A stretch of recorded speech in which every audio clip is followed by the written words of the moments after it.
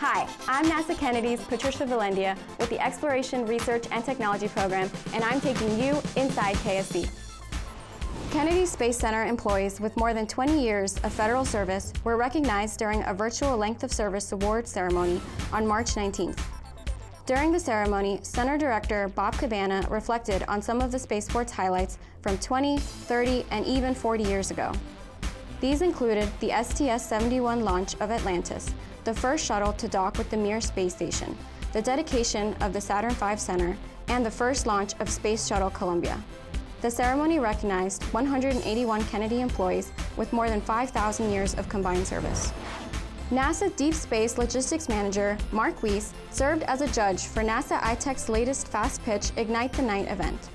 Held recently in Tampa, Ignite the Night was a virtual event where 10 companies from seven states presented technologies that could benefit NASA and positively impact life on Earth.